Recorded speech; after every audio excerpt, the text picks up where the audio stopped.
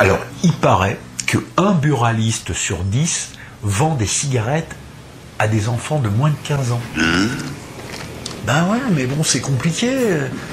De nos jours, les mômes, ils sont... On peut se tromper, il faut être méfiant.